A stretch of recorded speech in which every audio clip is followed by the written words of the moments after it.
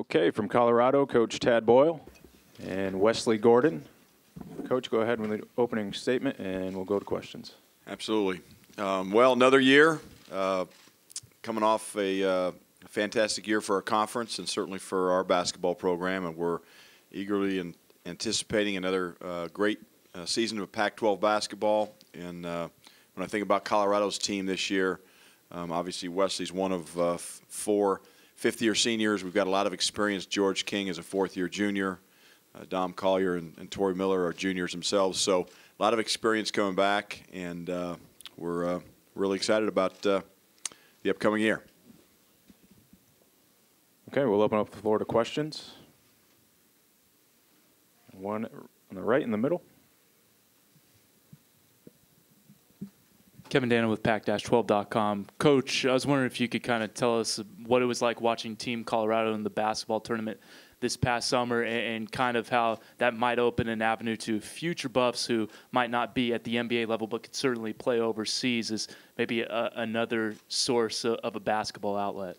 It was great. Uh, great experience for not only those uh, young men, but for our players. Um, that team came back to Boulder to have uh, kind of a mini camp to get uh, get ready for that tournament.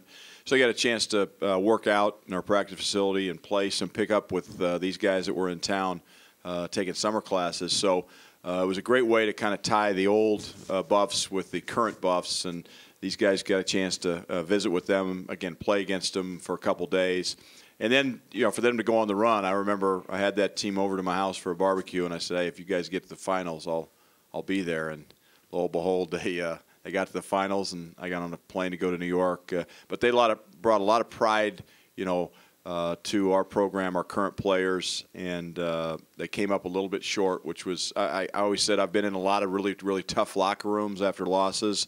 That might have been the hardest one, and and uh, those kids were devastated, but uh, really brought a lot of pride to our program. On the right, about halfway back. Uh, Pat Rooney, Boulder Daily Camera. Coach, uh, when you're out on the recruiting trail, um, the body of work you've put together at this point, four NCAA tournaments in, in five years, you know, you have a good freshman class this year, a couple late signees. Do you think that body of work is starting to, to gain attraction to kids, uh, get Colorado more on their radar than, you know, say when you took over in Boulder? Yeah, I'd like to think so. I mean, you know, with recruiting, you just want to eat a little bit higher in the food chain than maybe you currently are. And I think the the longer you're at a place, I think the stability of our program, the stability of our coaching staff, and we lost Coach Billups uh, this year uh, to go to the University of Denver, but you know, Coach Prioleau, Coach Rohn, who've been recruiting for us now for going into year seven, uh, added a really quality coach in Bill Grier.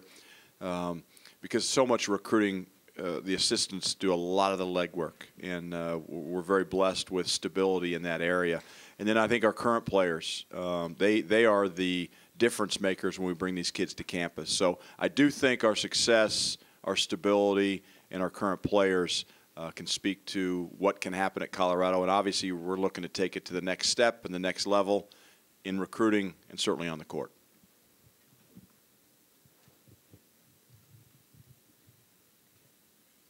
Any other questions, Pat, with a follow-up? Uh, this is for Wes. Um, kind of a two-part question on uh, XJ being back this year. Uh, one, just what does it mean for the team, kind of you know getting such an experienced guy back in the mix, and then for you personally, you know you're a fifth-year guy, um, and XJ, you know, coach mentioned the fifth-year guys. He's the only one that's been there five years with you. Uh, what does it mean for you, kind of personally, to to have him back in the mix to share a senior year with? Uh, it means a lot, you know, that I'm just not by myself in all of this. So he's been with me since day one. So it's just really nice to have him right next to me as I'm going through all this, as leadership role and all that, all all those things. okay, we'll go to Aaron. Oh. Bruce. Yeah. Uh, Coach, I just wondering your thoughts on uh, you guys being picked uh, fifth with a, a, lot of guys back, and just kind of what you see at the top of the the race this year.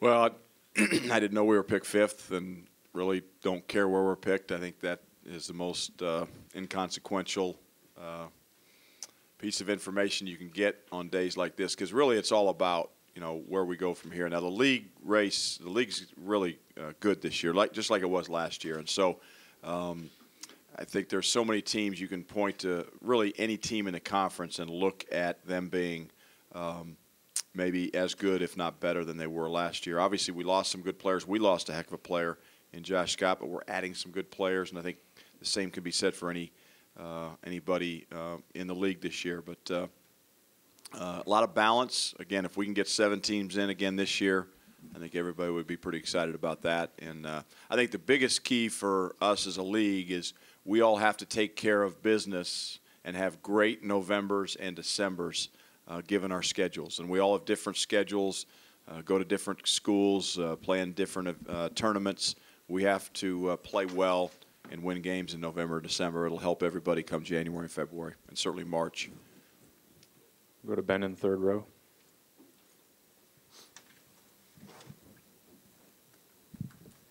Hey, Coach. Uh, ben Parker from GoldenBearReport.com. Both uh, Colorado and Utah joined the Pac-12 in 2011. Can you talk about the sort of the budding rivalry that the two of you have sort of formed as, as schools, and also just the value that you feel both of you brought to the to the conference?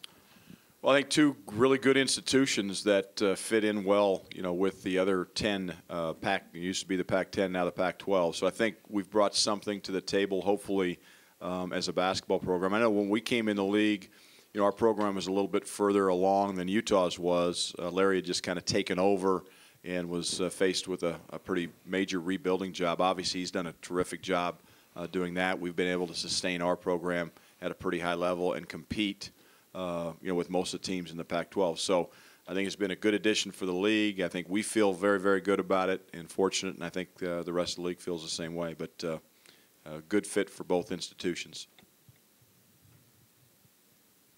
Okay, we'll go back to Pat. Coach, uh, one player no one was really talking about at this point last year was George King. Obviously, he went on to have a, a great year, league's most improved player. What can we expect out of him uh, for an encore this year, especially when he's going to you know, get the attention of opposing defenses? Well, you know, George really works on his game in the off season. I mean, he spends a lot of time in the gym. Obviously, that was uh, evident by his breakout year last year. He used his redshirt year certainly to the to the fullest. He's uh, always uh, getting shots in after practice. He's a very, very good knockdown shooter, and he proved that by uh, leading the league in three-point shooting last year. But he's also a big, strong, physical guy who can post up, can get to the rim, finish with contact. Um, the big the big challenge with George is, you know, good players make themselves be- better, and he's made himself better. He's a good player. Great players, you know, make those around them better, and that's that's the transition he has to make. Um, is make how does he make Wesley Gordon better? How does he make Dom Collier better? Xavier Johnson better? And and he's got the ability to do that. Now this year he's going to work on those things. Okay, we have time for one more, and we'll go right here in front. Hi, guys.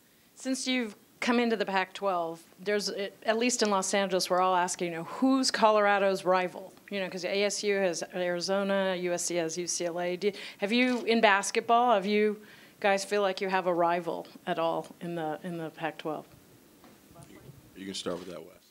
Uh, I mean, myself personally, I don't feel like we have a rival with anybody. I think we try and go out and beat every team we play. So I don't think there's any. I mean, maybe Utah, I guess.